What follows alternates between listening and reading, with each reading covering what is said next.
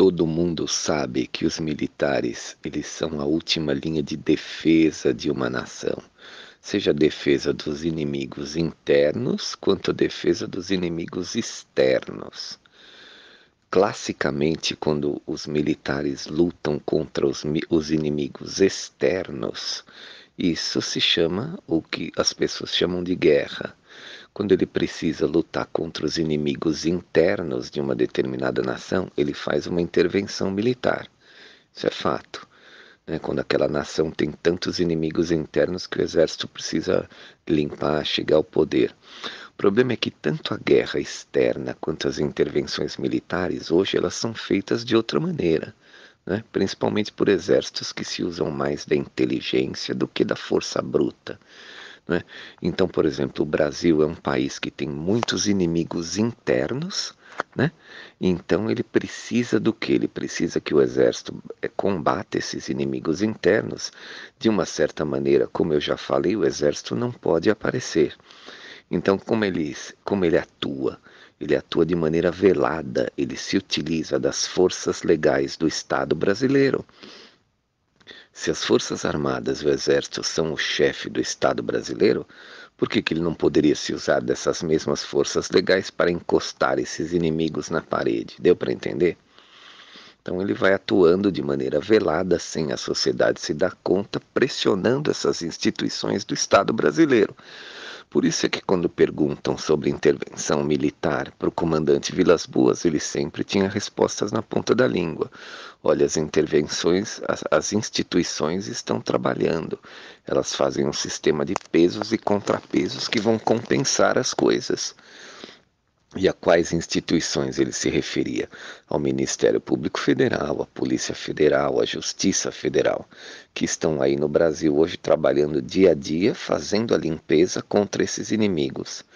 É lógico que o Exército está nos bastidores dessa limpeza. Então, esse pessoal que hoje está clamando pela intervenção militar, eles não entendem que a intervenção militar já está em andamento há muito tempo só que ela é de uma outra maneira, né, diferente, uma maneira mais moderna, não é aquela maneira clássica, né, com os blindados cercando os palácios do governo, Congresso Nacional, barricadas nas ruas, como foi em 64. Isso mudou. Então, como é que o inimigo atua? Ele faz um governo indireto, ele financia as eleições de um candidato aqui, e esse candidato é eleito pelo povo, porém vai trabalhar mais para o inimigo do que para o povo. E quem, que, quem é esse inimigo que financia esses candidatos que vão trabalhar para eles? Os globalistas, os grandes banqueiros, as grandes fortunas, aqueles que têm interesse na riqueza do Brasil. Né? Essas pessoas financiam esses candidatos, normalmente de esquerda, que são traidores de seus povos, de suas pátrias, e vão trabalhar pela agenda destes globalistas e não pela agenda do povo. Logo, o que, que a gente precisa fazer? Colocar um, uma pessoa que trabalhe para a nossa agenda. Né? Então, como essa, essas pessoas, esses, esses presidentes, eles são marionetes, ao invés de ser um marionete dessas forças globalistas, eles podem ser, deveriam ser, teoricamente, um marionete das forças militares. Vocês concordam? Então, é por isso que a gente precisa votar nos candidatos militares para chegar na situação em que nós não tenhamos mais pessoas traidoras da pátria nos governos, em cargos eh, de executivo, em cargos de legislativo, não é verdade? Então é isso. Continuando então, então se os militares eles querem eliminar a influência que vem do globalismo, ou seja, aqueles que governam indiretamente, teriam eles, os militares, que fazer o governo indireto. Vocês entenderam? É, e como que ele pode fazer um, um, governo indireto? Ele colocando uma pessoa dele na presidência, teoricamente um marionete das forças militares na presidência. Porque aí essa pessoa, ao invés de fazer o jogo dos globalistas, faria o jogo dos militares, que é sempre mil por cento de vezes mais patriótico do que os globalistas e que vai ajudar muito mais a sociedade do que esses globalistas, esses ladrões, esses espoliadores dos nossos recursos, entenderam? É por isso que as eleições elas vêm agora com os candidatos militares justamente para fazer esse trabalho. Essa intervenção militar velada que os intervencionistas ainda não acordaram. Deu para entender? E por que, eu voltando, por que, que não se pode fazer uma intervenção militar clássica? Porque uma parte da, da sociedade brasileira sofreu lobotomia, sofreu lavagem cerebral desses globalistas e dos esquerdistas. É o exército dessa gente, são jovens brasileiros tolos que estão sendo recrutados nas universidades federais principalmente para fazer a tal da luta armada muerte socialista, que quando eles vêm pela guerrilha, não é verdade? O exército no poder levanta aquele dispositivo moral do soldado esquerdista para fazer a guerrilha. Não é? E esses jovens são filhos de brasileiros e são filhos de pessoas de bem, trabalhadores, lutadores, pessoas que, que, que, que, prezam pelo Brasil, não é verdade? Então, como é que. Imagine a situação: como é que o exército vai poder matar em combate um jovem desse sem afetar os pais? Entendeu? Então, é uma situação extremamente constrangedora que deve ser evitada. Não é? Então é por isso, por esse e N outros motivos, que os militares não podem mais fazer intervenção na força bruta e fazem intervenção pela inteligência. Eles atuam da mesma forma agora que os globalistas sempre atuaram. Ou seja, vamos colocar um marionete nosso na presidência e ele vai fazer o que a gente precisa que ele faça. É assim a intervenção militar. Então entendam isso. Isso não vai circular pela mídia. Não esperem que os militares falem isso. Isso é preciso ser entendido, subentendido. É preciso que os, que os brasileiros vejam isso nas entrelinhas. E os brasileiros não estão vendo isso nas entrelinhas. Estão aí que nem loucos, uma parte ou pedindo a intervenção militar pela força, né? Ou completamente perdidos, achando que os comunistas dominaram tudo. E não é essa a realidade. Os comunistas estão encostados na parede. Eles não dominaram nada, eles vão ser presos. O homem mais poderoso desse país, o senhor Luiz Inácio Lula da Silva, está preso e vai ficar lá por um bom tempo, não vai sair. Outro que está preso, Dirceu, enfim, não precisa ficar falar, falando, falando isso aqui, não é? Mas as pessoas precisam entender ler nas entrelinhas. Isso não, volto a falar, isso não vai ser falado abertamente, explicitamente nunca. Não é verdade? Então é isso. Então o recado é: votem nos candidatos militares. Nós precisamos dos militares nos bastidores do novo governo. Os valores militares. É dessa maneira que nós vamos vencer os globalistas. E se os globalistas tentarem colocar um marionete deles novamente no futuro, essa pessoa vai ser presa pelas mesmas forças legais que estão fazendo a intervenção agora e que de agora em diante elas se levantarão em caráter de permanência. Isso nunca mais vai acabar.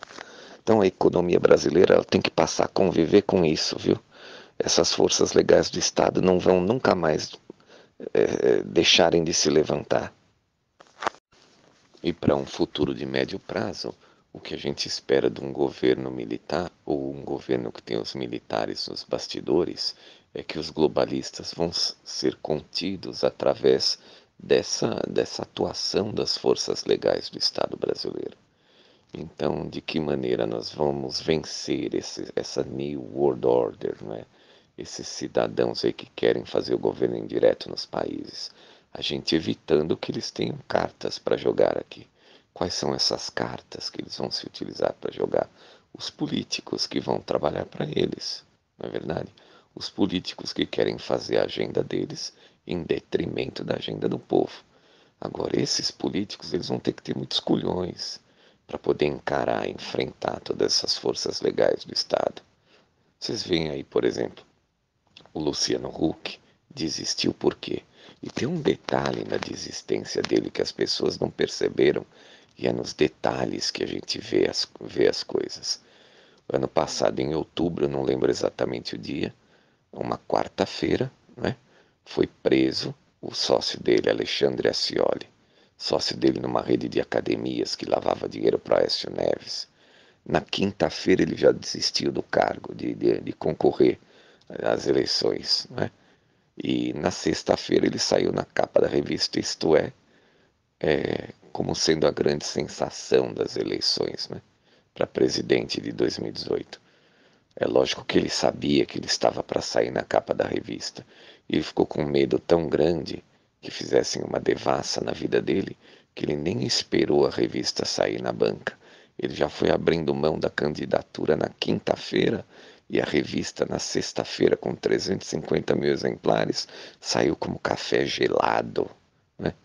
Ele saiu na capa dizendo que era grande sensação, como se um dia antes ele tinha abandonado a corrida. Né? Então é isso. É outro Joaquim Barbosa também. Por que, que desistiu da candidatura? É outro que teria um passado né, escuso a explicar. Né? Então é assim. E os globalistas não vão encontrar um cara honesto que vai trabalhar para eles. Então eles vão ser evitados no futuro dessa maneira. Polícia Federal neles, Ministério Público Federal neles, Justiça Federal para cima deles. Né? Então a gente pode dizer que para um futuro de médio prazo, os militares vão estar no poder cercados dessas forças legais, né? ou seja, estar nos bastidores do poder, né? e o poder cercado e protegido pelas forças legais do Estado brasileiro. E para derrotar ou tentar derrotar os militares, essa esquerda ela está fazendo o quê? Ela está criando caos no Brasil. Então, nesses próximos quatro meses, daqui até as eleições, a gente vai ver esses caras tentando incendiar o Brasil. É, o Lula até prometeu isso aí. E por que, que eles querem incendiar o Brasil? Eles querem arrancar os militares dessa intervenção velada que eles estão fazendo, que venceu a esquerda e desmoralizou completamente a esquerda. Eles querem trazer essa intervenção para o campo bélico. Ou seja, eles querem trocar, eles querem tirar os militares da, dos bastidores e trazê-los para frente da batalha. Só que isso os militares não podem fazer por causa dessas N razões que eu disse. Primeiro, se o militar fizer isso, ele levanta um dispositivo moral para a esquerda colocar no seu soldadinho, que vai fazer a guerrilha. Deu para entender? É, aí a esquerda também, um outro motivo, ela aciona os organismos internacionais que eles mesmos criaram. Né? Outro motivo, todos esses bandidos que têm muito dinheiro escondido, as malas de dinheiro, eles vão pedir asilo político lá fora. E com o militar aparecendo, fazendo a ruptura democrática, ele consegue o asilo político lá fora. Ele transforma a condição dele de bandido comum para perseguido político é, o povo em geral não pode cair nessa ignorância dos intervencionistas que não sabem nada disso. Esse povo intervencionista, apesar dele ter boa intenção, ele é analfabeto em matéria de geopolítica e política. O que ele tem é emoção à flor da pele, desejo de vingança. E não é assim que se faz as coisas. Eles ainda não entenderam que não é dessa maneira. Pode ser que demore que, para cair a ficha desse. E eu aposto, eu já falei isso no Facebook até, que o ano que vem, em pleno governo com os militares nos bastidores, cheio de ministros militares, vão, vai ter intervencionista ainda na rua pedindo intervenção militar. Infelizmente, é assim, uma parte da sociedade ainda é muito ignorante, não consegue perceber as mudanças, não é? É, enfim, mas eu estou mandando esses áudios para quê? Para tentar tranquilizar as pessoas, para tentar colocar as pessoas no, na, no rumo certo. Elas não podem entrar nesse jogo da esquerda que vai tentar incendiar o país, entendeu? Elas têm que ter aquele foco. Eu vou votar nos candidatos militares e nada vai me impedir, nada, absolutamente nada. Os militares precisam continuar nos bastidores, sem aparecer, entendeu? É assim que vai dar certo, é assim que vai funcionar.